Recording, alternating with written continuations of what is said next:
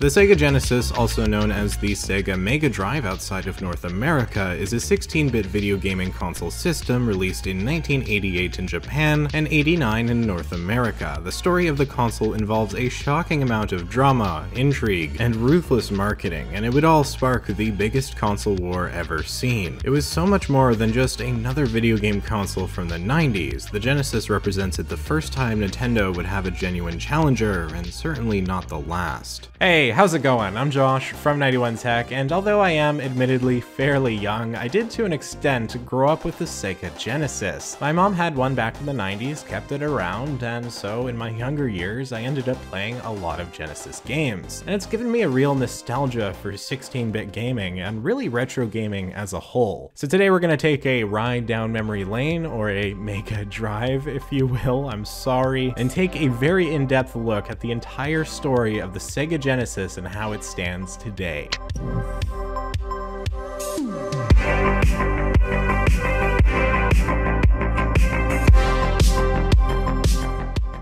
Dave Whitney wanted the real arcade games at home, so he got them. Mike Rogers wanted them too. But he got a Genesis system by Sega. Why? Check it out. Arcade screen left, Genesis screen right. If they look the same, you've answered correctly. Besides, Genesis has real-life action in sports games, flying games, and adventure games. The hottest library going. So if you want real arcade action, there's only two ways to get it. Dave, we got your golden axe. Or get Genesis by Sega. We bring the arcade experience home.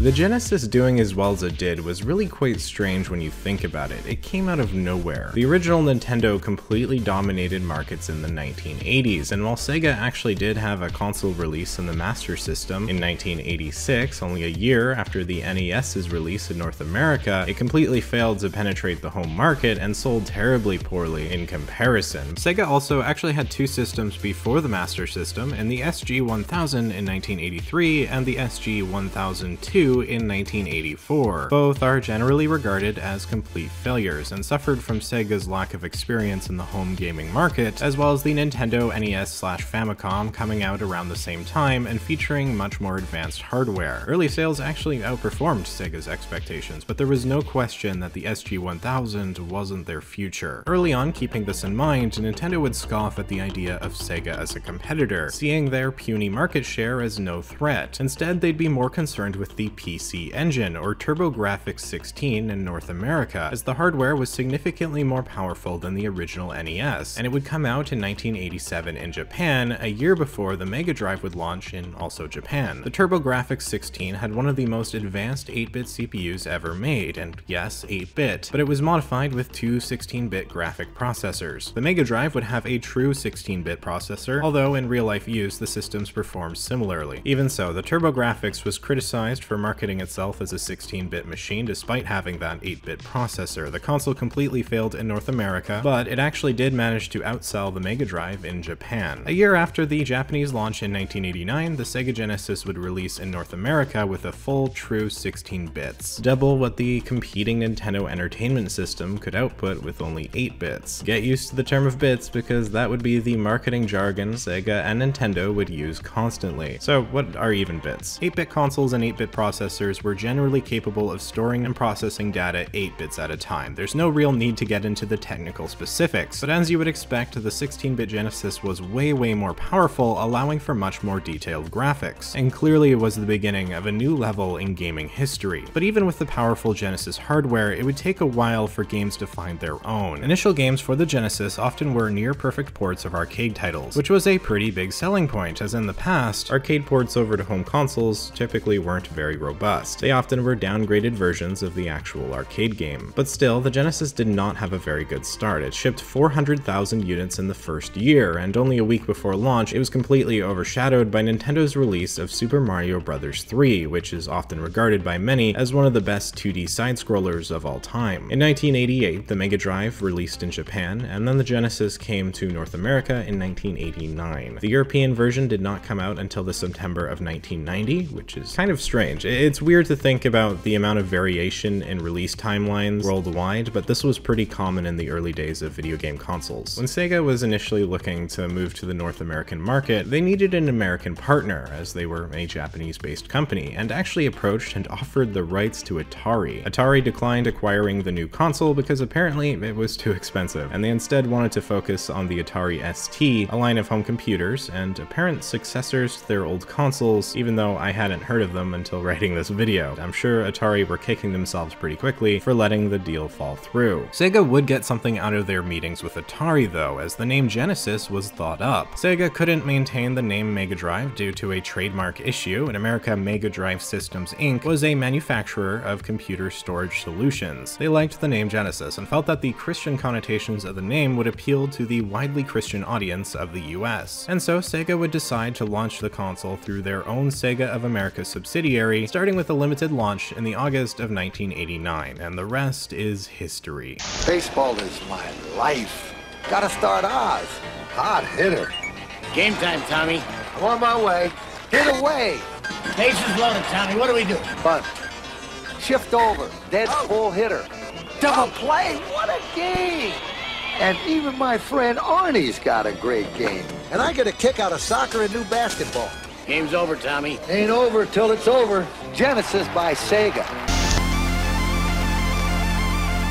The Sega Genesis is definitely one of the flashier looking consoles from the early days. It opted for black plastic as opposed to the gray of Nintendo, and prominently features the logo under the cartridge slot, as well as the bold 16-bit lettering to remind you that this was the future. I really like the look of this machine. It's simple and classy while also still somehow being a bit spicier than the plain boxes so common in the 80s and 90s. The controller wasn't anything to write home about, but it did the job and had quite the unique layout. You've got the D-pad on the left, logo in the middle, middle, start button on the top right, and then three so-called triggers, although buttons would be a bit more accurate in today's context. They're labeled A, B, C, which is quite strange compared to what the standards are today, and does take some getting used to trying to play with it now. There are no bumpers, this is it, plain and simple. And effective, it certainly was better than the Nintendo Entertainment System controller. Those were simple rectangles with a D-pad and two buttons, and that was it. That one could be pretty uncomfortable to hold, but the Super Nintendo controller would build on it with four buttons, a couple bumpers, and a more ergonomic ergonomic shape. The Genesis controller hasn't aged the best, but keeping things simple was a big positive in attracting those who had maybe never even owned a console before. It's corded of course, and we have a couple controller ports at the front of the console. What I have here is the original rendition of the Genesis, and the most common. The Mega Drive in Europe was similar, but even more simple, lacking the logo above the golden 16-bit emblem. It's funny the differences video game makers used to have between different geographical products. From game box art to the look of the console to even the name. I'd say Nintendo was the worst offender with the Famicom compared to the NES. If you brought it over to North America, most probably wouldn't even recognize it as a Nintendo console. I want to quickly mention that there actually was a newer version of the Genesis controller released in 1993, and it would give you six buttons. Among retro gaming enthusiasts, it's thought to be one of the best controllers ever made, and for especially fighting games, it was a huge benefit, making it easier to do combos and giving you more input options. Again, I've got the original Genesis here, or at least one of them. There was the original unit, and then a revised system that looks the same but uses cheaper parts. The sound quality is significantly decreased in the revised version, and so of course that's the one I have. Easiest way to tell is look for the high definition graphics text on the front of the console. If you don't have it, you've got the revised model. If you do, you have an original. So it's not a concern for me, I have the technically inferior Model 1 Genesis, and uh, that's right, this is only the Genesis Model 1, and for a long time I never realized there were actually more of them. My mom and her brother purchased this back in the 90s, and then my mom took it years later when she married my dad. And so in spite of me being born in the year 2000, I actually got the 16-bit gaming experience as a child, and attach a lot of nostalgia to retro gaming as a result. NHL 94, Sonic 2, and a few others remain prevalent in my early memories. When I think of my childhood console, I tend to reflect on the PS2, but the Genesis is a close second, and that's really something when you think about it, that a kid didn't really see much of a difference between a 90s 16-bit gaming machine and a console capable of playing 3D games that was way beyond anything that existed in the Genesis era. But when it comes down to it, the Genesis was just plain out fun, and that's all that mattered to me. But back to the subject on hand. This is the Genesis Model 1, and right here, I've got the Genesis Model 2. I picked it up on eBay recently for super cheap, like 40 bucks or something, and while it looks a bit more boring in my opinion, it's also much smaller, compact, and practical. It's still compatible with Genesis add-ons, and beyond the design, there really aren't any benefits over the original, and the audio is still lower quality than the original original, so there's nothing too noteworthy about the Model 2, but it is actually kind of cool when you think of it as like the Genesis Slim. This is quite a bit before Slim versions were typical. I mean, the PS1 would eventually get one, and the PS2, and so on, but Sega already made one in 1993. And then there's the confusing Model 3, or Genesis 3 as it was marketed. After the Genesis was discontinued, Majesco Entertainment, under a license from Sega, released the Genesis 3 as a budget console in 1998. It is missing compatibility with Sega CD and Sega 32X, and it's really dang small. The Sega CD and 32X are add-ons for the Genesis I'll be talking about a little bit later, but I'd like to give a quick shout out to a local game shop for lending them out to me, as they're quite rare and expensive to buy nowadays. So if you find yourself around Abbotsford, British Columbia, Canada, make sure you stop by the House of Cards. They're a great little store and have an awesome selection of retro gaming stuff, as well as trading cards like Magic the Gathering and Pokemon, so huge thanks to them for helping me out. Super cool that I was able to film these and try them out for myself. But back on track here, no official variants of the Genesis Model 3 launched outside of North America as Majesco didn't have the rights in other regions, and the console initially retailed for $50 and then was quickly dropped to 20 bucks. That's right, not much over 20 years ago, you could walk into a local store and buy a tiny version of the Genesis for only $20. Pretty sweet deal. Kind of funny because while as far as I can tell this console was never particularly successful, mini consoles have picked up a lot of steam in recent history, with the NES and SNES Mini doing really well, and there was a Genesis Mini that launched in 2019, looking exactly like the old Genesis or Mega Drive depending on your region, and having a limited selection of popular Genesis titles from its heyday. There are obscure variations and licensed versions of the Genesis, including the Genesis Nomad, which was a fully portable Genesis, but I don't want to waste too much time going over absolutely everything. Clearly, Sega milked the Genesis for all it was worth, and given the lack of success in their future hardware, it's hard to blame them. But in all fairness, the Genesis wasn't just a success, it was a major success, kicking off the 16-bit gaming generation with a bang, and at launch completely blowing away their competition in Nintendo, at least in terms of power. Sega in 1989 may not have had the name recognition Nintendo had, but that wouldn't last for long.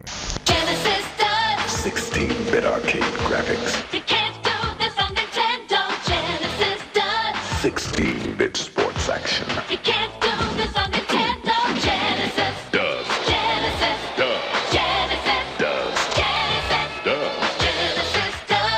Montana free, Pat Riley free, Buster Douglas free, Super Monaco GP free, or Collins free.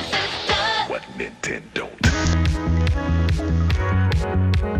I'm not sure there's any more iconic video game advertising campaign than the infamous Genesis does what Nintendo don't. It was a simple, catchy phrase that was brilliant in attracting attention, especially from the edgy, rebellious teen of the 90s that was ready to break through the societal norms in the most conformity-based way possible. Nintendo by 1989 had completely owned the gaming market in North America, and then here comes some random company named Sega directly trash-talking the console everyone and their mothers had heard of. And to be fair, Sega wasn't wrong. The Genesis was significantly more powerful than the original Nintendo with double the bits and blast processing. A phrase Sega would coin and didn't really mean much, but sounded very cool. There was no question that the Genesis could produce way way better graphics, the quality of which had never been seen before in a home system. Consoles were finally getting to the point where they could match and even outdo popular arcade titles, all in the comfort of your own living room, and without draining you of all your quarters. Altered Beast was originally an arcade game made by Sega and featured 16-bit graphics on an arcade machine that actually had very similar hardware to the Genesis, so of course it made sense to port it over. And it was a great example of immediately how much more detailed graphics could get, with simple things like shading your character that simply wasn't possible to the same extent with 8-bit graphics. Researching this game specifically, it's actually quite fascinating because while I can find many articles citing it as a classic, and it's been repackaged many times in numerous Genesis collections years later, it also had extremely mediocre reviews at launch, and even in more modern times would still not be considered too great. IGN would describe the Xbox Live Arcade re-release as a relic of the arcade heyday that just doesn't hold up today, but this game on a home system, regardless of what you thought of the title itself, was something that showed the immediate potential of the Genesis. Another great example of what the Genesis could do was with the game Strider, a 1989 arcade title that was ported over to the Genesis near the end of 1990. It featured vibrant colors and fantastic character animations. Even compared to games coming out for years onwards, it would more than hold its own. Strider also came to the Nintendo Entertainment System, and here's what that looked like. Admittedly, it was an entirely different game with a different plot, but it was still based on the same arcade game, and it shows the ridiculous contrast in what these systems were capable of. Strider is also remembered by some as one of the greatest video games of all time, and if you wanted to play it without raiding your mom's coin purse, the Genesis was the only way to do it. Genesis do what Nintendo don't. Well, at least in the beginning. Despite the power and capabilities of the 16-bit Genesis, there weren't a ton of launch titles, and in the first year, Sega really struggled to overcome just how immensely omnipresent Nintendo was in the homes and minds of consumers. Sega of America only sold 500,000 in the first year, not a small number for a console that was coming out of nowhere, but Japan had tasked them to sell 1 million units. CEO of American Sega, Michael Katz, the man who pushed for the aggressive marketing campaign, was replaced by a man named Tom Kalinske only a year after Michael had been recruited. Kalinske immediately developed a four-point plan that would boost the Genesis to greater relevancy. The price of the console was cut, an American team meant to develop games specifically for American audiences was created, the already aggressive advertising campaigns were expanded, and the game that was bundled with the system, Altered Beast, was replaced with some random new game that had just come out. The Japanese board of directors disapproved of this plan, but the president of Sega, so you know, the head honcho in Japan, opted to approve it, and he put his full trust in Kalinske. Oh, and uh, that random new game to be bundled with the Genesis, you've probably never heard of it, it's very obscure. It was just this little title called Sonic the Hedgehog.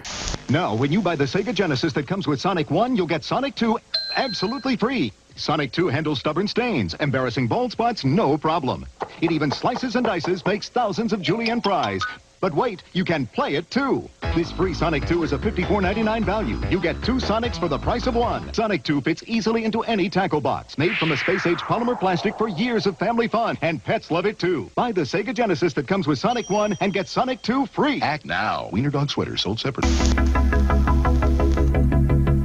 Development for Sonic the Hedgehog began in 1990, when Sega told developers to create a game featuring a mascot for the company. Nintendo had Mario, so it made sense Sega would have some kind of competitor. And at the time, while they did have a number of interesting games, there was a lot of variety and no real standout titles. There was no game you'd be like, oh yeah, yeah, that's the uh, that's the Sega Genesis game. And so on June 23rd, 1991, Sonic the Hedgehog was released, and the game was packaged with American Genesis consoles. Genesis owners who had bought their console before Sonic had come out actually were able to request free copies of the game by mail, which I have to say was a very cool and consumer-friendly move. I don't think there's any game better than Sonic the Hedgehog to represent the 90s. It was made to be colorful, fast, cool. It needed to stand out, to pop, to really push what the Genesis was going for, and I think that was more than accomplished. The audio, the visuals, the gameplay, it was all just amazing, and the fast-paced action was unlike anything that had ever been seen before. It was the perfect 16-bit title, showing off just how beautiful the graphics could be, with even the first level right from the get-go, blessing your eyes with a plethora of colors and detail in both the foreground and the background. The simple gameplay was also perfect. Sonic was a game anyone could pick up and play, but at the same time, it took some real effort to actually beat, giving it a lot of replay potential. And this is where things would start to get interesting. Sega with Sonic coming out really established themselves as the 16-bit console maker, and this was right before the launch of the Super Nintendo Entertainment System System, or SNES for short. Nintendo, after two years, had finally caught up, and the first and perhaps most famous console wars of all time were just beginning. The SNES actually originally released in late 1990, before Sonic even came out, but this was only in Japan. It would launch in North America the August of 1991, a couple months after Sonic was bundled with the Genesis, and then the rest of the world would get the Super Nintendo in 1992 and onwards. You'd think the SNES, or actually the Super Famicom as it was called in Japan, might have picked up enough interest to outdo the Genesis. After all, Nintendo was much better known. But the problem, well, the Super Famicom came out in 1990 for Japan, right? Well, Sega never really had much hold of the Japanese market anyways, and so their efforts had strongly increased specifically in North America and Europe. This was in contrast to Nintendo continuing their Japan first mindset. And so sure enough, when the SNES did launch in North America, the Genesis was already picking up major steam, and that continued to be the case, in large part because of the absurdly popular Sonic the Hedgehog. The Genesis outsold the SNES in the US nearly 2 to 1 during the 1991 Christmas season, and by 1992, Sega would control 65% of the 16-bit console market, marking the first time Nintendo hadn't been the console leader since 1981. And the Genesis would go on to outsell the SNES for four consecutive holiday seasons, thanks to the overwhelming positives surrounding the system, such as the bigger game library, lower price point, which was pretty essential, and of course, Sonic the Hedgehog. It was reported in early 1993 that the Genesis had 250 games versus 75 for the SNES, and some of those games had some serious contention behind them. After the release of the Genesis, video game publisher Accolade began looking into releasing some of their PC games on the new system, but were unwilling to adhere to Sega's licensing costs required for third-party developers. So, and this is absolutely insane, they would reverse engineer the Genesis. They bought a Genesis, decompiled the executable code of three Genesis games, and programmed their own cartridges to disable the security lockouts preventing unlicensed games from being playable. And they would release a game like this with Ishido, The Way of the Stones, coming to Genesis in 1990. So you had a basically black market game being sold in genuine stores, as a genuine Sega game. In order to combat piracy as well as these unlicensed games, Sega would incorporate a code known as the Trademark Security System to a new variation of the Genesis that would add extra protection and more importantly, force the Sega trademark to display when the game was turned on, specifically stating the game was licensed by Sega. This was done by adding a subtle string containing the name Sega at a specific point within the memory of the cartridge. If the string wasn't present, the game simply would not run. Accolade would learn of this at the CES of 1991 when Sega straight up showed the new Genesis rejecting an Ishido game cartridge. Accolade then would back off, reconsider their life choices, and after some deep reflection, start paying Sega the licensing fees and everyone would live happily ever after. Yeah, okay, not so much. Instead, Accolade successfully managed to add the trademark to their own games despite being completely unlicensed. Sega, I imagine at this point, laughed maniacally and shouted, you just activated my trap card, before suing Accolade in the United States on charges of trademark and copyright infringement, as well as unfair competition. Accolade would respond with an Uno reverse card by countersuing Sega for falsifying the source of its games by displaying the trademark at the powering on of a game. As you likely would expect, the district court would rule for Sega, but upon appeal, this verdict was overturned, and it was somehow determined that the Accolade's decompilation of Sega's software constituted fair use. It was said the use of the software was non-exploitative, albeit commercial. Furthermore, they found that the trademark infringement was Sega's own fault due to the message being required to be played in the first place. Reading this, I'm not gonna lie, I was in absolute shock that Accolade somehow managed to win this fight. This was a landmark court case in gaming history, and it's one of the reasons why reverse engineering and things like emulation are acceptable today. As long as no proprietary code or copyrighted material is used within the final product, thanks in large part to this case, it falls under fair use. So while looking back, it's difficult to find Accolade in any way in the right here. I mean, imagine if a game developer made a bootleg PS5 game and just started selling it at Walmart without Sony knowing anything about it. The result in the end was beneficial to consumers, as less power to game console makers means things like jailbreaking and emulation can exist without too much fear of legal troubles. Going off track a little bit here, my former high school teacher had a big Sega collection and he actually lent me a Sega Dreamcast, which I show just a little bit uh, later in the video, and I plan on doing a full video on it at some point. But he also had a good few Sega Genesis games, and he gave me this one to look at from Accolade. It's called Warp Speed, and you can see on the box it says for the Sega Genesis and Mega Drive systems. So this would have been one of the games that came out before Sega started licensing Accolade games. And looking at the cartridge itself and on the top on the sticker, it says this video game cartridge was produced by Accolade Inc., notwithstanding any statement to the contrary, which may appear on the brief initial display on your screen. Accolade Inc. is neither affiliated with nor a licensee of Sega Enterprises or any of its affiliates. Copyright 1993 Accolade Inc. already rights reserved. That's right, they put a disclaimer on the top saying that even though, you know, the game said it was, uh, they weren't actually affiliated with Sega. That's absolutely hilarious. And again, as important as that case was, it's still amazing to me that uh, Accolade managed to get away with all of this. The case ultimately was settled in 1993, and Accolade would become an official licensee of Sega, while still being able to make their own cartridges, which is why games like Bubsy have unique cartridges for the system. Electronic Arts, yes, that Electronic Arts also did something similar, although a little bit less drama ensued. Nintendo during this time had a firm grip on the approval process for third-party games and would charge a lot of money for cartridge manufacturing. EA wanted a better deal, but going to Sega, they were met with resistance. EA would then crack their knuckles, buckle down, and fully reverse engineer how Sega's system worked, not unlike Accolade, and immediately began developing games for the system. The day before CES in 1990, the founder of EA confronted Sega and informed them that EA was basically just going to release their games regardless of what they said if Sega would refuse to relent to their demands. Sega didn't really seem to have much of a choice, so they agreed, and literally the next day, EA's upcoming Genesis titles were showcased. This is why EA cartridges are designed differently and have a yellow tab on the side. They were directly made by EA, not Sega. While this was probably not a great start to a business relationship, EA games on the Genesis would end up being a massive system seller. Along with this, there were a big number of game devs jumping on board the Sega train to avoid Nintendo's rigorous and expensive licensing process. In spite of initially underestimating Sega, Nintendo would have to loosen restrictions in order not to lose too many developers, which is a good example of why competition is an important thing in any industry. Think of especially smaller game developers who wouldn't normally have been able to get their title out there if Nintendo had continued being the only big console maker and had all the power in the world to charge you as much as they wanted to use their platform. Sega was benefiting greatly from being the first major competitor to pop up. Combine this with the outrageous, aggressive marketing, and the console wars were heating up fast. And the story just gets even crazier from here, with lies and deception becoming commonplace, and we find that the image of the systems were much more important than the hardware itself. The Sega Genesis has blast processing. Super Nintendo doesn't. So what's blast processing do?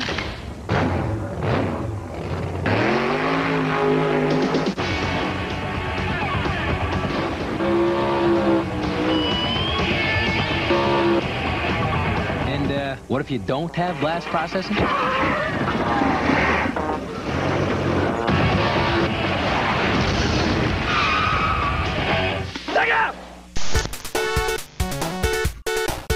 Sega's advertising would always emphasize the Genesis as the cool, hip, more mature console over the SNES, with phrases like blast processing suggesting that the Genesis power far outdid the stupid, lowly Mario machine. I mean, clearly the Super Nintendo was for kids, right? A Sony focus group actually found out that teenage boys would not admit to owning a Super Nintendo over a Genesis. It was that much of a big deal, and Sega's marketing team was absolutely brilliant to take this approach, even if it was admittedly deceitful. The Super Nintendo was without a doubt the superior system in terms of hardware. It outdid the Genesis in nearly every category, with double the RAM, roughly equal CPU power, way more colors, larger sprites, and better audio. Although the audio might be a bit debatable, as the Genesis included a built-in synthesizer that allowed game makers to use built-in instruments, which is why so many Genesis games tend to sound similar and have those same kind of synthy 90s vibes. Whereas Super Nintendo devs needed to make their music from scratch, which would often results in better quality and higher variety, the style of the Genesis music is actually kind of preferable to me. And I'm not alone there, the synth style music really fits the cool futuristic theme of the system and kind of gaming in the 90s as a whole, and the nostalgia factor is through the roof going back to nearly any game on the system. Just listen to NHL 94's main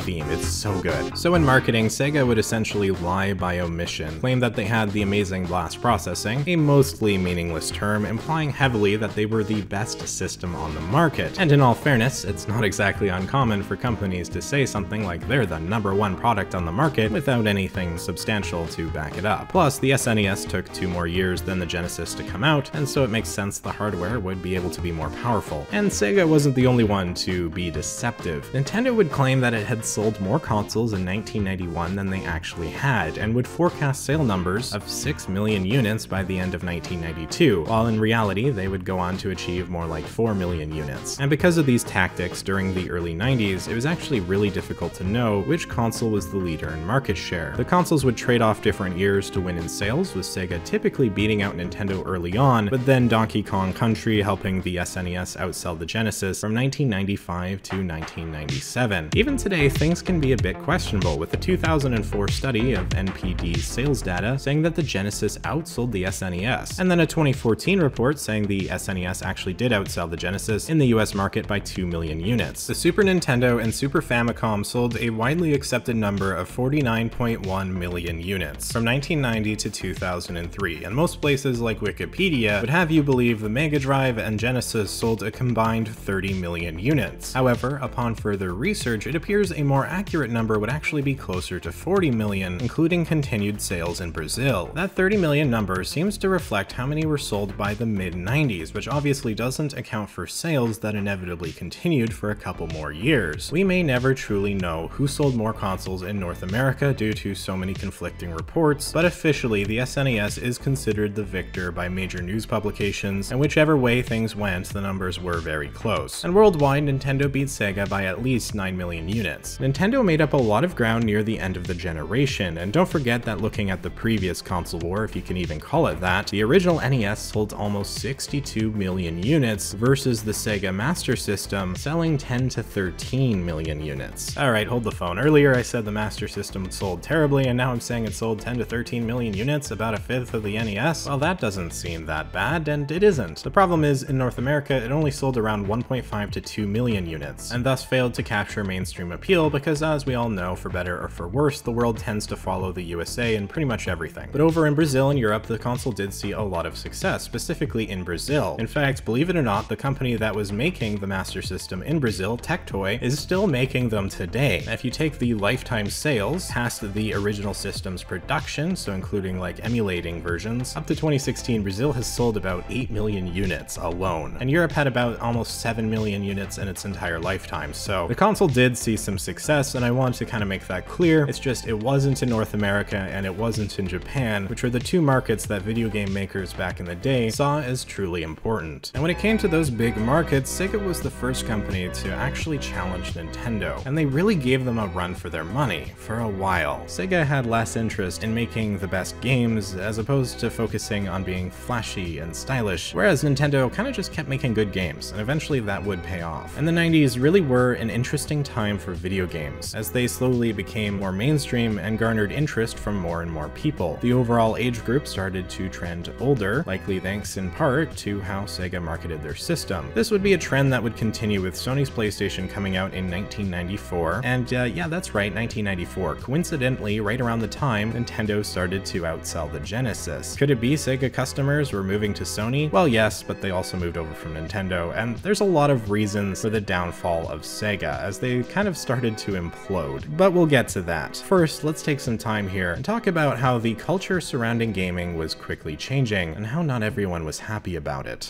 Young Bobby Engels has a problem. He needs to earn the respect of his peers. So he gets Sega Genesis, the ultimate action system. And then he buys Mortal Kombat, the arcade edition, and the all-new Shinobi 3, and Marvel's X-Men. Now, things are pretty much okay. I said chocolate chip. Say it. Say it. They like the gore, they like bloody games where people's heads explode, and I think it's attractive to them. The really popular video games are linear, repetitive, uh, really violent. Uh, there's not a lot going on mentally. It's the same repeated movement. The parents who buy some of those games may not realize just how much violence they're getting. One of the most vicious games is called Mortal Kombat. The objective is to finish off your opponent violently. Another method is decapitation.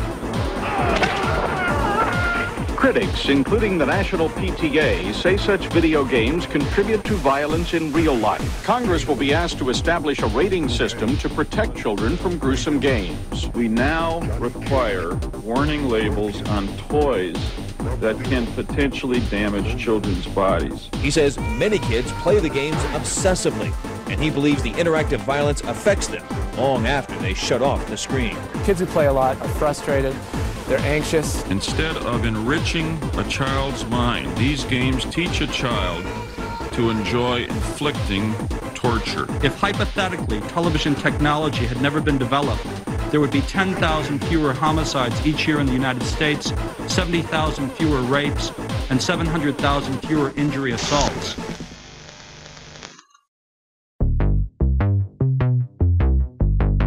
It's essential we don't forget the time period this is all happening in. A cultural revolution of sorts was uprising within the younger generation, in a time where Dungeons and Dragons to many represented witchcraft, and the government's anti-drug PSAs were in full swing in any form of media available. Not to say those two things are on the same level, but the point is that there had already been a quickly increasing concern among parents and adults towards children, and the influences surrounding them. Gone were the days of popping your kid in front of the TV for hours on end, knowing the most violent thing they'd see was likely Little House on the Prairie. Instead, there was the risk of switching to the wrong channel and getting the recalcitrant and defiant Bart Simpson telling his school teacher to eat his shorts. All this to say, it's understandable people would be worried when suddenly a video game came out that depicted you decapitating the other player and pulling out their head with the spinal cord still attached. Obviously, 30 years down the road, this feels pretty darn tame, and any and every proper study on video game violence shows no real correlation to violence in real life. Mortal Kombat, originally an arcade game ported over to home systems, was purposely made to be over the top, and the shocking imagery was very much intentional. But there wasn't a proper rating system in place at the time, and I think we can all agree, taking it in like today's terms, a 13 year old probably shouldn't be able to walk into their local GameStop and buy the newest Grand Theft Auto without anyone batting an eye. Not saying a 13 year old can't play GTA, I'm sure a lot of you did when you were 13, but it's a decision that should probably lie with the parents, and it's thanks to games like Mortal Kombat as well as Night Trap that the ESRB system exists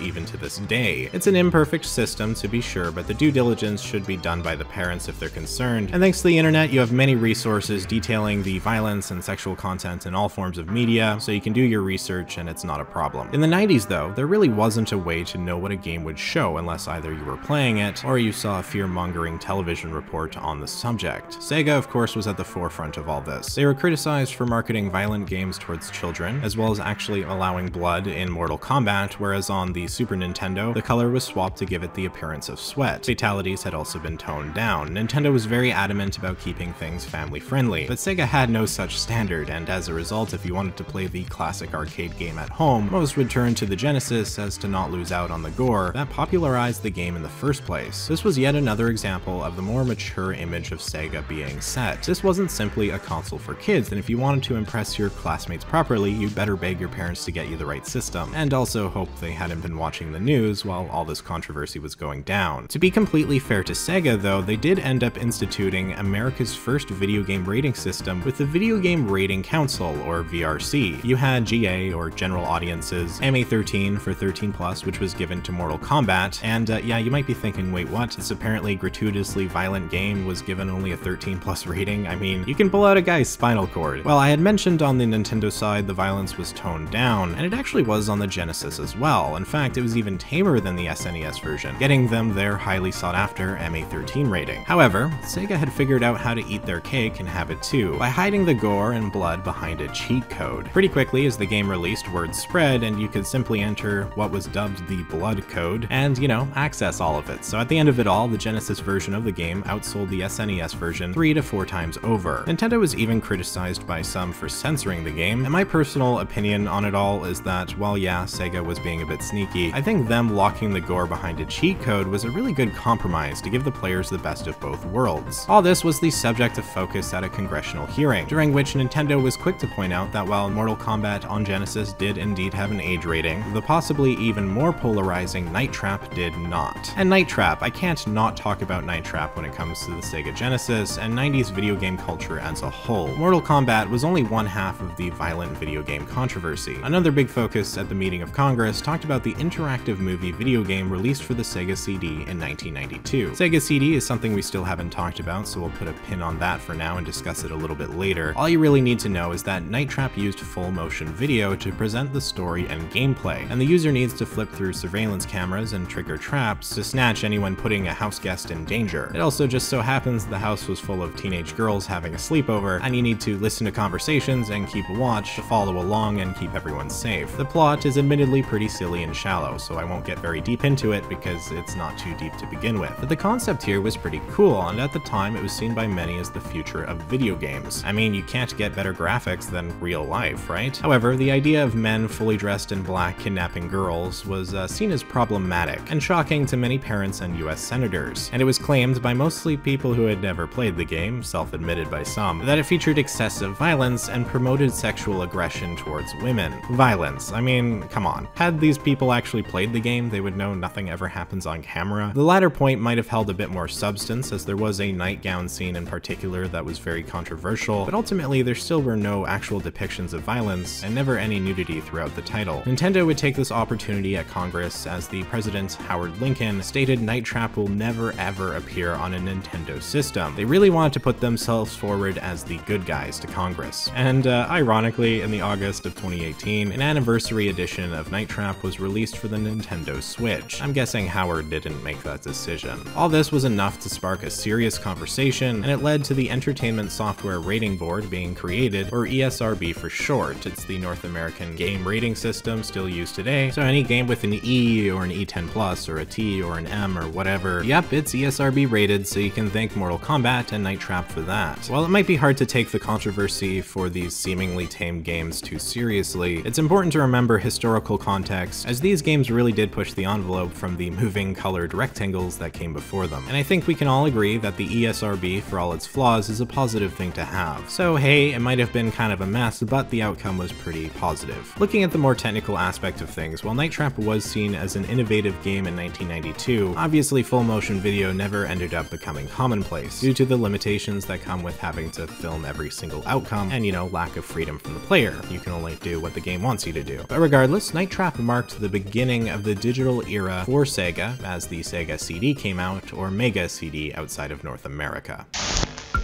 Hey! You still don't have a Sega CD? What are you waiting for? Nintendo to make one? you have seen the games, right? Uh. Wrong answer, man. Show 'em!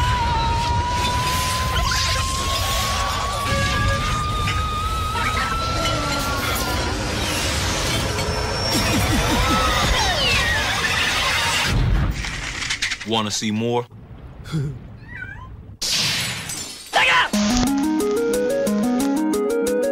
Sega had quickly become absurdly successful with the Genesis and the Mega Drive, and they knew they had to take advantage and build on their already huge consumer base. In modern times, makers like Sony and Microsoft often will take a loss when they sell their console, knowing they'll make up their money tenfold from digital purchases. But that wasn't an option in the 90s. Once a console was sold, that was it. Sega wasn't getting any more money from you beyond royalties from buying games. The other issue here is that there's only so much you can do with 16-bit hardware. Sega was doing really well, but they knew they couldn't get complacent with Nintendo hot on their heels. These here are the Sega CD and 32X, a couple add-ons Sega would make over the Genesis lifetime, and I'm lucky enough to have gotten my hands on them for this video. They are quite expensive due to their rarity, and I wasn't gonna go out and buy them specifically for this one video, so another huge thanks to the House of Cards in Abbotsford, BC, Canada for generously loaning them out to me. They were Sega's attempts to move video gaming tech forward while taking advantage of the huge Genesis user base. In theory, it's easier to get people to buy an add-on than a whole new console, right? And we'll get to just how successful or unsuccessful that was, but I do want to quickly talk about the overall graphical fidelity of the base 16-bit hardware. The Sega Genesis when it first came out was one of, if not the most powerful consoles ever created by the late 80s, or at least when it comes to a consumer machine you'd find under somebody's TV in their home. Early 90s, the Super Nintendo had it beat, but Sega had already managed to cement itself as the 16-bit system. More bits means better graphics, and as showed a bit earlier with a brief switch over to the 8-bit Altered Beast versus the 16-bit version, there's a crazy difference in just how much better doubling the pixels enhances the 2D gaming experience. While a lot of games would still look a bit rough around the edges, skipping 30 years down the road, I think it's fair to say that many of the most popular 16-bit era games actually still hold up quite well graphically, especially thanks to the rise in new 2D pixel art games within the last decade, such as Stardew Valley, Celeste, and Shovel Knight. And of course, we can't forget the very popular Terraria, and these are just a few examples. There's a certain charm to these older pixelated sprites, and some of the artwork that was created is absolutely breathtaking, even in a modern context. So while Sega would have the idea that things needed to keep moving onwards, I think in hindsight they had a really good level of power and capability as they were, and there's only so far you can go before graphics just have to move on to 3D. But don't forget, the first fully 3D animated movie with Toy Story wouldn't come out until 1995, so it's very likely that a lot of companies, including Sega, didn't really know what the future was. 3D games were a very abstract concept, and one that hadn't been explored very far yet. That all being said, I think what was more limiting than the amount of pixels was the amount of colors, as the Genesis could only display 64 at a time, whereas the Super Nintendo can display 256. Not to mention, the Genesis has a limited palette in comparison, giving the Super Nintendo just a much wider variety of how scenes could look. It was just better hardware-wise. It was, you know, the Genesis had a couple advantages here and there, but the Super Nintendo really had it beat. And as we've talked about, that's not a huge surprise considering that it came out later. But Sega really didn't want this, and although their marketing was really good, they wanted to keep pushing the envelope, and we see that pretty quickly with the Sega CD and 32X. So let's try to keep in mind that exact mindset that Sega was holding at the start of the craziest decade ever in video gaming history.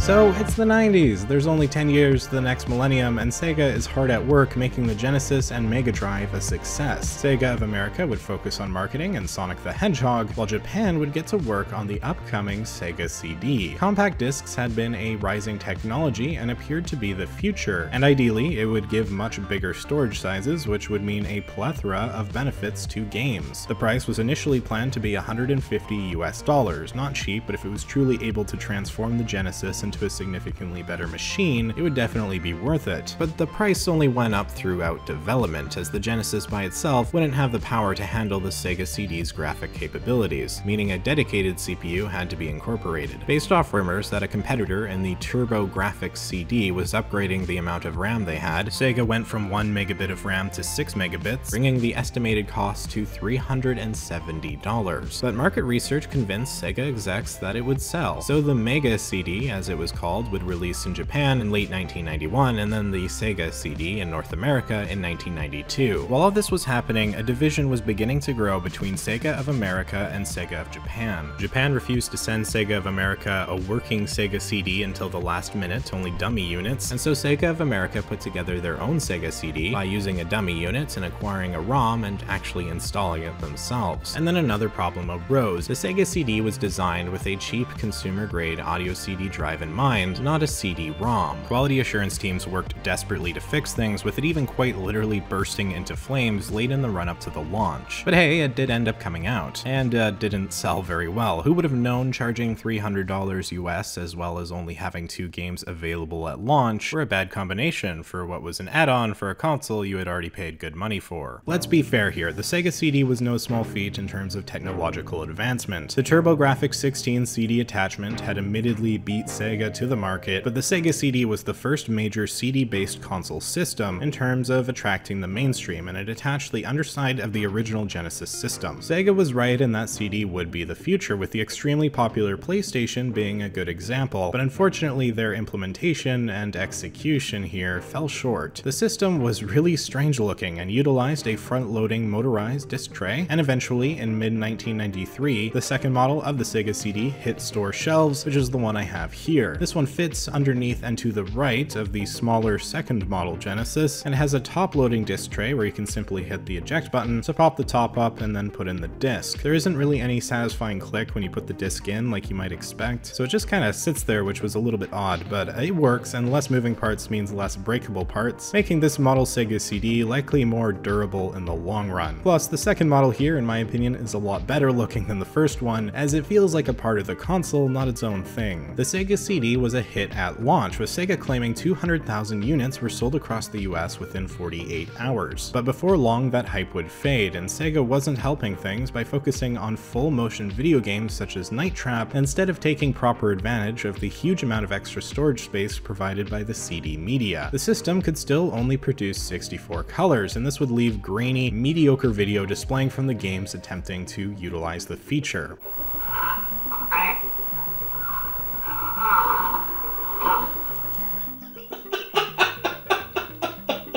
What really didn't help is that while there were some games designed for the Sega CD from the ground up, the majority of titles were just rehashes of existing Genesis games with minor new content like uh, a CD audio soundtrack and small video sequences with few actual enhancements to the game beyond maybe a couple extra levels. And don't forget, Sega was charging $300 for this thing. I also found that the loading times can be unbearably slow, especially when I was attempting to play Wing Commander, with a lot of times where I just couldn't tell if things were frozen or loading. And perhaps the the disc has some issues where it skips or something, but it was really awkward. Uh, the characters do have actual dialogue and voice lines, which is kind of cool considering how rare that was in early 90s gaming, so it is nice to see the power of compact disc utilized here with my Commodore 64 video monitor. Yeah, that's my uncle's, and yeah, it does look really cool. Not the best display to uh, use Genesis on, as it only has mono audio, especially not great for the Sega CD, but it does look really cool, so uh, I'm okay with it. Sonic CD was the main standout title for the Sega CD, and I do talk about that game a little bit later on, but overall there weren't very many great games, which makes a lot of sense when you look at the sales numbers. Over its lifetime of 5 years, the Sega CD sold a bit over 2 million units, which actually in my opinion is kind of a decent success, but maybe not such a great number considering the 30 million Genesis consoles that were sold. You would think at this point Sega would shift focus fully to their next console, but that wasn't the case. Introducing the 32X, yet another add-on for the Genesis. The Atari Jaguar had come out in 1993, and Sega was concerned the 64-bit processing ability would pull away consumers. The 32-bit Sega Saturn, their next console project, likely wouldn't be able to hit markets for another couple years, and Sega of America wasn't really aware of just how much stock Japan was putting into it. And so that Saturn would end up releasing at the same time as the 32X in late 1994, at least in Japan. So yeah, what developer was going to make a game for the 32X on a system as old as the Genesis and they could focus on the new Sega console instead? The 32X, as the name implies, allowed you to play 32-bit games. It was cheaper than the 32-bit Sega Saturn, but it left Sega's consumer base completely alienated and confused on what was happening or what they should buy. You have a 32-bit add-on coming out for an old console at the same time a 32-bit new console is coming out. I don't think you can get too much more confusing than that. The 32X was too expensive to be a really proper budget next-gen system alternative, and it was difficult to program for, which meant not a ton of games. And it also wasn't even compatible with the Saturn, meaning you had separate games for both the Saturn and the 32X. Regardless of these issues, the 32X actually had a reasonably successful launch in North America and eventually Europe, but those sales quickly dropped off as Sega was unable to convince third-party developers to make games for the system, as the future was seen to be in the Saturn, the Nintendo 64, and the PlayStation, as they were all right around the corner. The 32X managed to sell about 800,000 units and was discontinued two years after launch in 1996. The game library was fairly mediocre and limited for the most part, but there were some solid titles such as Doom, although the port to Genesis is typically considered the inferior version. I've never played much of Doom, but the main standout for me is how the game doesn't play in full screen, and looking into it briefly, uh, it's pretty clear this game is missing a lot of content, partly to make it in time for the launch of the 32X, as well as just the fundamental limitations of the Genesis hardware. But hey, it is still Doom on a Genesis, and uh, that's pretty cool. Virtua Racing Deluxe is an enhanced port of the game for Genesis with better visuals and music. The fact that this game runs at all on the Genesis is pretty amazing without the 32X, but apparently it needed a chip within the cartridge to allow it due to the high amount of polygons. But yeah, this is a full 3D game running on the Genesis with the 32X. This version is quite a bit better than the original for the Genesis, and it's much closer to the actual arcade experience. Really cool to play a 3D game on the Genesis. Like seriously, this console came out technically in the 80s. It didn't even come out in the 90s. That's amazing. The hardware of the 32X is a bit funny looking, but a lot more compact than the Sega CD, going into the cartridge slot on the top of the console, with a cord connecting it to the Genesis on the back for passing through video. And it also, annoyingly, requires power from a completely separate power brick. The Sega CD also does this. So for the six games that require both the 32X and the Sega CD, you would need to have a total of three giant power adapters plugged in, which is just ridiculous, not to mention the cord for your TV, and probably the other dozen things you need to plug in around your TV area. Sega of America was really high on the 32X, pouring millions into marketing and hyping it up to be the future of gaming now. Why wait when you can play the best of the best right then and there? But with the Sega Saturn launching at the same time in Japan, something that Japan failed to initially tell America about, it was really hard to convince buyers. It didn't help that over on the SNES side, Donkey Kong Country came out, which not only looked fantastic, but also was just a really fun game and would go on to be the third best-selling Super Nintendo game ever released, and it could be played on the base hardware without any accessory needed to be bought. Sega and other competitors were so focused on pushing the limits of graphical power, they kind of forgot the most important aspect in video games, the games, and I think that's the biggest reason Nintendo would eventually win out. The simple truth in all this is that Sega stretched themselves too thin. They should have focused on making the Saturn better, especially in North America,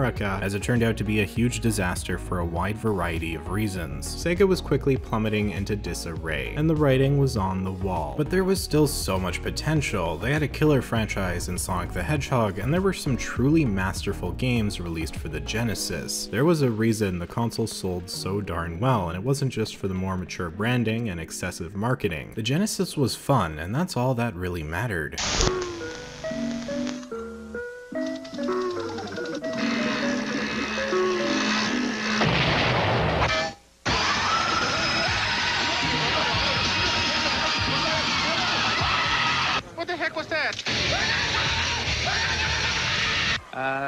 Forgot what I was gonna say.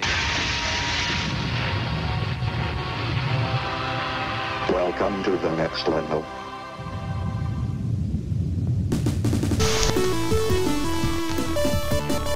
The game library of the Sega Genesis was always its main draw, in spite of the relentless advertising campaign and confusing add-ons. Initially, the variety of games was very modest, having ports of arcade titles like Altered Beast, which was of course bundled with the system. Down the line though, some seriously huge games would release, with the top sellers including the likes of Sonic the Hedgehog and Sonic the Hedgehog 2, Disney's Aladdin, Mortal Kombat, and many, many sports titles. Electronic Arts was one of the earliest third-party companies to support the Genesis, and the president of EA at the time believed the system was superior to the SNES for sports titles due to the faster drawing speed. So while the SNES was the more powerful system, there were still benefits to the Genesis hardware, and EA was one of the developers to take advantage. What's kind of interesting is that there was a very high amount of game sales for individual Sega Genesis owners, especially compared to the Super Nintendo. In 1997, Sega of America claimed there was a rate of 16 games sold per console, which doubled that of the SNES. Sega made bank off the Genesis, which in theory should have set them up very positively for the future, making it all the more tragic they were never able to recapture its success. Mortal Kombat is always the fighting title that comes to mind when thinking of the 90s, but Street Fighter II from Capcom was another hit that actually skipped the Genesis release altogether, coming to the SNES only. But as the Genesis continued to grow rapidly in popularity, Capcom would give in and port a version of the game titled as Street Fighter II Champion Edition, which would end up selling around 1.6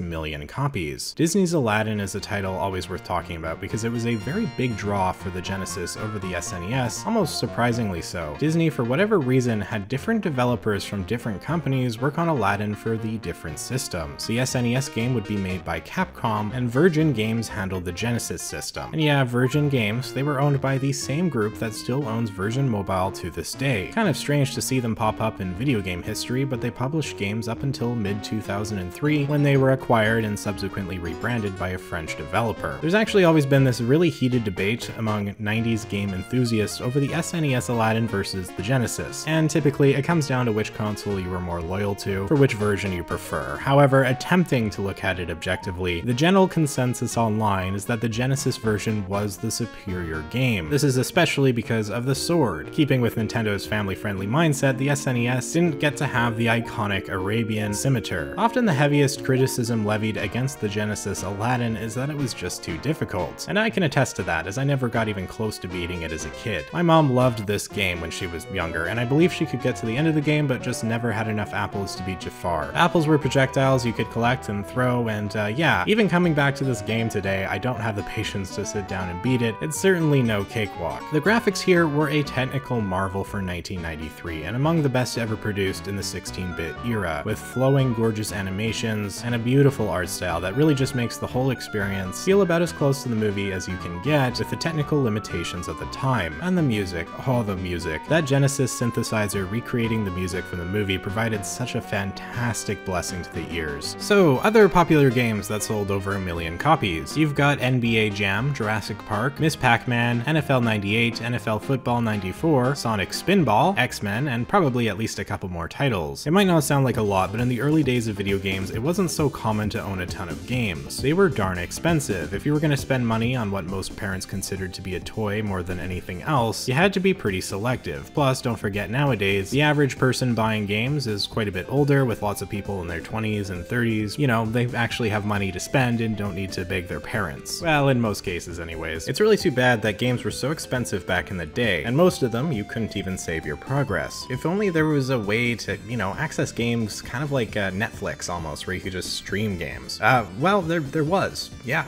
in uh, the 1990s. I'm not kidding. Launched in the December of 1994, there was the Sega Channel, which was provided to the public by TCI and Time Warner Cable through cable television by the way of a coaxial cable. It was a pay-to-play service, meaning you could subscribe and then access Genesis video games online. You could play game demos, you could get cheat codes, and this service would last from 94 all the way until 1998. Using cable television was such a brilliant way of managing to reach so many households. I mean, most people had cable, or at least, you know, the people who'd be buying a Sega Genesis in the first place. It made a lot of sense. So if you were willing to pay $15 American every month plus a $25 activation fee, which included the cartridge, the cartridge being more of an adapter that would plug into your TV, you could access up to 50 games for the Genesis at any one time. The titles would rotate monthly, and some updates would even happen on a weekly basis. In 1997, Sega would up the games to 70, and the update frequency to bi-weekly. Some of these games are really big, such as like Sonic and Knuckles, Aladdin, Super Street Fighter 2. It's insane to think that basically the precursor to Xbox's Game Pass happened all the way back in the 90s. The service would go on to garner as many as 250,000 subscribers, which was pretty good, but Sega did expect more, and so unfortunately it wasn't the moneymaker they were hoping it would be. But this section is supposed to be talking more about the games, so let's get back to that. We've gone over the big name games that sold over a million units, but just because a game didn't sell amazingly doesn't mean that it isn't awesome, so let's run through a few more games. Ecco the Dolphin is a legendary title as it has such a friendly appearance, but in reality is one of the toughest games on the platform, seriously don't play it. Earthworm Jim was an iconic platformer in the 16-bit era, you've got Castlevania Bloodlines, Shining Force 2, Gunstar Heroes, Streets of Rage 2, a westernized version of Puyo Puyo called Dr. Robotnik's Mean Bean Machine, Phantasy Star 4, Vector Man, which has to be one of the most technically impressive games on Genesis ever, Monster World 4, ToeJam and Earl, and so many more that I couldn't possibly mention them all. I will briefly go over Sonic the Hedgehog 3 though, as it was pretty darn unique for a specific reason. Gameplay wise, it was about what you would expect, and it was considered an improvement over previous installments, and it was fairly successful with over a million copies sold. But what makes it so unique is that it was initially developed as a singular game combined with another game, Sonic and Knuckles, which also came out in 1994, and features gameplay controlling both Sonic and, you guessed it, Knuckles. Time constraints and small cartridge sizes forced Sega to split the project. So what was done is the Sonic and Knuckles cartridge was given this lock-on technology, where you could insert a second cartridge into the top. I managed to pick up one of these old games, so that was pretty awesome, 25 bucks Canadian, not bad. If you insert Sonic 3, which unfortunately I couldn't find, you're able to play both games as one title, Sonic 3 and Knuckles, and I would imagine that's the way that was originally intended. Can also put in Sonic 2, where you can play through Sonic 2 as Knuckles, which is pretty neat, and with the original Sonic the Hedgehog, you're also able to access some stuff, so all in all, this is just a really smart implementation to get around the technical limitations of the time and encourage players to own all of the Sonic games to get the full experience. Something interesting and kind of crazy about Sonic 3 is just how good the soundtrack was. I've been using its music throughout this video, and what's strange about it is there is some pretty serious conspiracy stuff surrounding the music, with many claiming that Michael Jackson actually helped work on it. Why do people even think this? Well, apparently parts of the soundtrack sound pretty similar to tunes from Michael Jackson's own music, but Michael Jackson has never been credited, and Sega has always denied his involvement. So if he was involved, why would they deny it? Well, there's a couple possible reasons. The first is that Jackson may not have wanted his name attached to a compressed video game soundtrack, as maybe he thought it would make him look bad. The second theory is, unfortunately, this is right around the time when Michael Jackson was hit with child molestation allegations in 1993, so it would make sense if Sega just didn't want his name attached to anything. Ultimately, uh, all we have is a maybe for whether or not Michael Jackson was a part of it, and Sega has only continued to deny it, so uh, we'll probably never know for sure.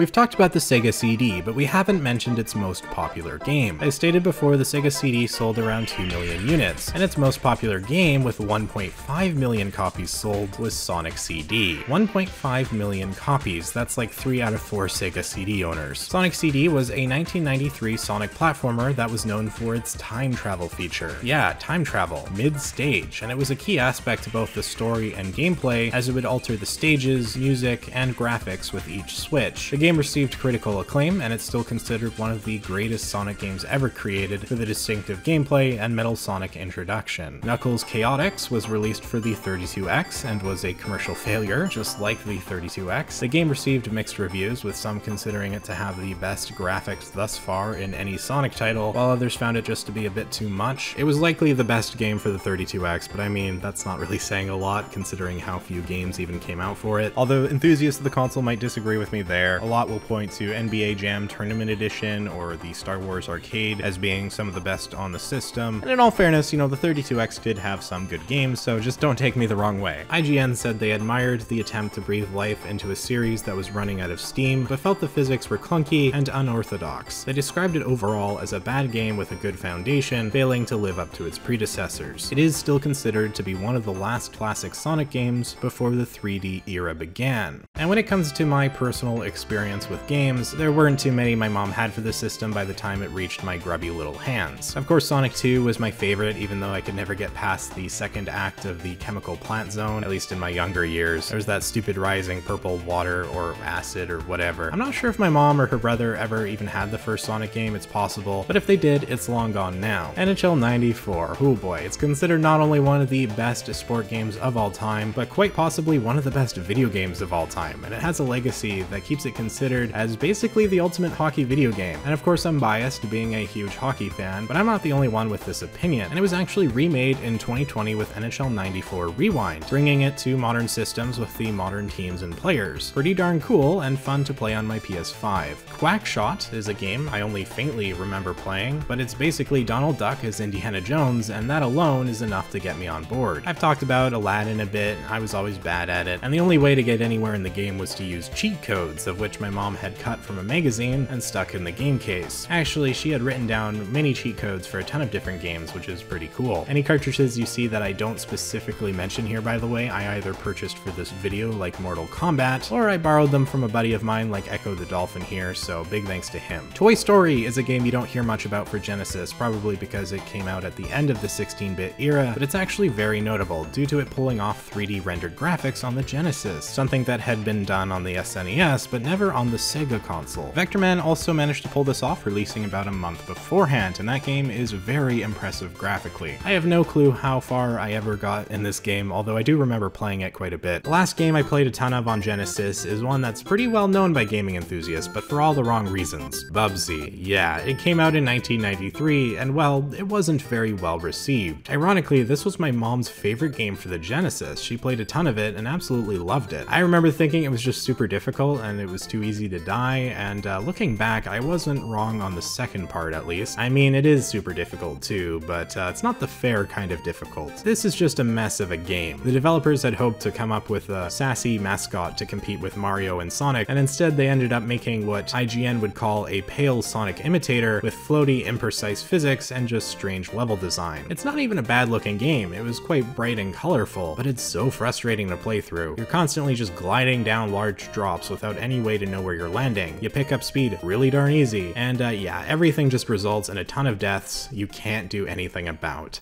what just happened? Bubsy 2 would come out a year later, and there was Bubsy 3D for the PS1, which uh, we don't talk about Bubsy 3D. Anyhow, at the end of it all, I have a lot of fond memories on the Sega Genesis, and I'm just one man born 10 years after the Genesis released, so suffice to say, those who properly grew up with it had a really enjoyable time, and the legacy of Sega is one that just can't be ignored looking back at gaming history and what has brought us to the point we're at today. From 1989 with the North America launch to 1997 with the eventual discontinuation, the Sega Genesis managed to do what few other consoles have done in becoming a video game icon, the like we've seen very few times since, and managing to set the precedent of properly competing with Nintendo that Sony and their PlayStation would end up running with. But time stops for no man, and the Genesis wasn't going to last forever. Without Sega doing something fast, they would be stuck in the past with nothing but a 16-bit system and a ton of plastic cartridges.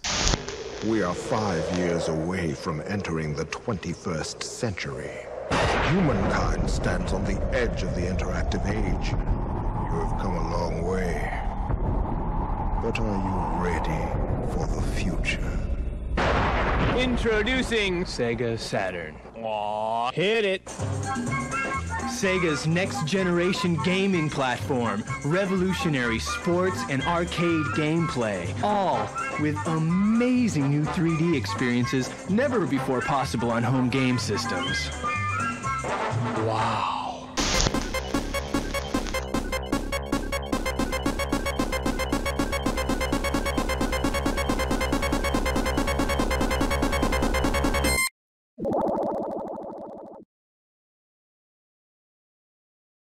The year is 1994, the 32X is on the way, and simultaneously, the Sega Saturn was releasing only a day after in Japan featuring 32 bits and complete incompatibility with the 32X. The Sega Saturn is kind of a fascinating console, even if it was a complete and utter failure, but it was a major catalyst in Sega's fast approaching implosion. At the first ever E3 convention in 1995, Sega of America CEO Tom Kalinske revealed the US price of the Saturn to be $400 with a copy of Virtua Fighter bundled in. He then shocked everyone by saying due to high demand, consoles had already been shipped to various retailers for immediate release, which angered retailers who hadn't heard anything about this. A lot of them hadn't heard anything about this, including Best Buy and Walmart. Many of the stores left out of the loop would be very offended and straight up refused to sell the console, which certainly did not bode well for its future. The Europe release also came early, and it all culminated in a console that not a lot of people had heard of without the usual benefit of the press hyping it up, and there just hadn't been time for the advertising to make a splash, although not for lack of trying. The Sega Saturn's US launch apparently included a $50 million advertising campaign that targeted a more mature adult audience than the Sega Genesis ads, and went through some strange mediums, including Playboy magazine for some reason. Despite all this, the Sega Saturn only had six games at launch, with the majority of third-party games having been prepared to launch at the original date in September, but of course, Sega wanted to beat PlayStation to the punch. PlayStation launched in the September of 1995 as they had been planning and sold more units than the Saturn had in five months, basically immediately. What really hurt Sega was the lack of games, at least for one thing. Virtua Fighter was popular in Japan, but not so much for Western audiences. There was no Sonic game, and you know, it was a Sega console. The other big thing besides the random release date was the price of $400. That was really darn expensive for a console. The PlayStation had already been released in Japan, but of course wouldn't go to North America for a number of months. And so when Sony heard that Sega was moving up their release date, they had to do something. This resulted in perhaps the most famous clip of any E3 convention ever, and really, in my opinion, marks the moment Sega officially died. Join me for a brief presentation.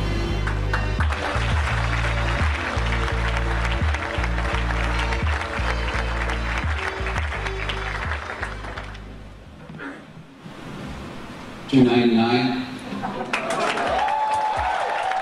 299, a full $100 less than the Sega Saturn. Yeah, I'd say that was a pretty good selling point. At the end of 1995, Sega would reduce the price of the Saturn to 299, but it was too late, the damage was done, and the PlayStation's quickly growing game library put Sega's to shame. Within the first year of its life, PlayStation had secured over 20% of the entire US video game market, and at the 1996 E3, Sony reduced its price to only 199. Sega of course quickly announced it would match that price, even though the Saturn hardware was more expensive to manufacture, but it was all in vain, they had already lost. Because of the late launch with the PlayStation, 16-bit consoles and games actually managed to account for 64% of sales in 1995. Sega had really underevaluated continued interest in the Genesis and didn't have the inventory to meet demand, with Tom Kalinske estimating they could have sold another 300,000 Genesis units during the holiday season had they been prepared, but even so, Sega sold over 2 million units throughout the year, which was a pretty impressive number considering the quickly aging hardware. But between America and Japan, that rift just kept growing, thanks to the ridiculous success of the PlayStation. The atmosphere of Sega apparently got tense fast, with a lot of finger pointing and disagreements between Sega of Japan and Sega of America, and let's just say tempers were running short. Japan had been fully focusing on the Saturn, which is likely what led to not enough inventory for the Genesis, and Kalinske was not happy about this. He would go on to resign in 1996. He had been strongly against releasing the Saturn early, knowing there were too few games and consoles in stock, and he wasn't a fan of the Saturn in the first place. He would go on later to say that he didn't believe anyone could have marketed the Saturn, but Sega of Japan forced him to try anyway. Under Kalinske's reign as CEO of Sega of America, there was growth from a value of $72 million to over 1.5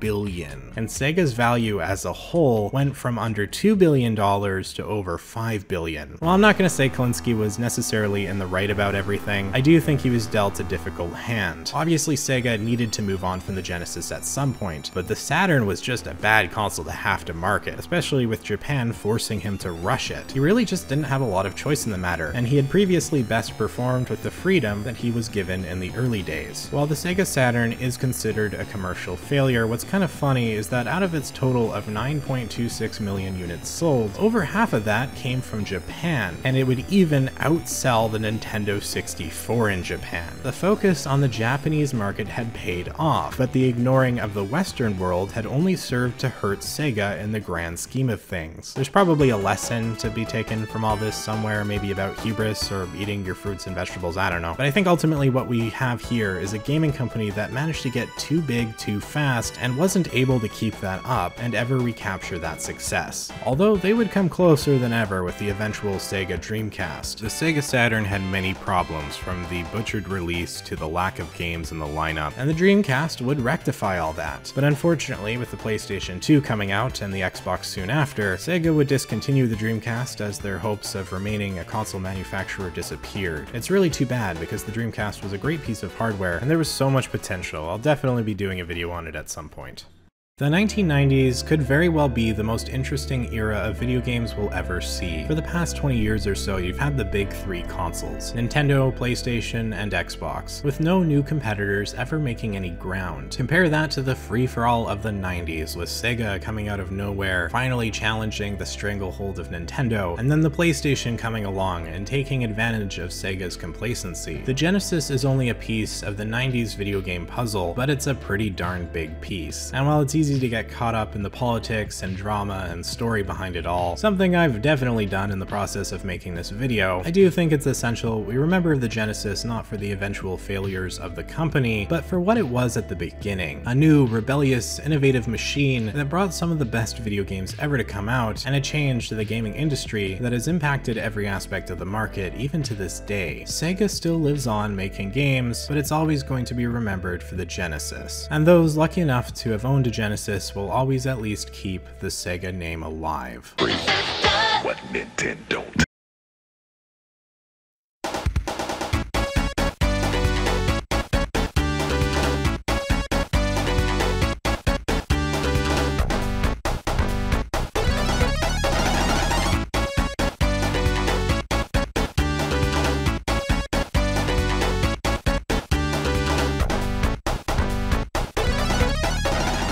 And on that note, I think I'm about finally done here. This is by and far the longest video I have ever made on this channel, uh, besides live streams, if those count. And it's not something I originally meant to happen. It just kind of happened as I kept adding to the video and finding more and more of the drama surrounding the Sega Genesis and its story. It's such an insane console, so very happy I was able to take this in-depth look at it. It took a long time, so maybe hit that like button and uh, consider subscribing for more content. Probably not quite as long as this, but you know, similar in nature. Big shout out again to House of Cards in Abbotsford, British Columbia for lending me their Sega CD in 32X. That was a big help. And if you'd like to keep up with me, you can follow me over on Twitter and Instagram at 91 underscore tech. And if you'd like to talk with some like-minded tech users, maybe come by and uh, join the Discord. Thank you so much for watching. If you made it this far, I mean, wow, thank you. Uh, It's it's so cool, you know, the fact that my mom's Sega Genesis, my mom's and her brother's Sega Genesis from like the early 90s is not only still around today, but like 30 years down the road was used for a video like this. It's really cool, but I've, uh, I've got no more to say. I'm Josh from 91 Tech, and I will see you all next time.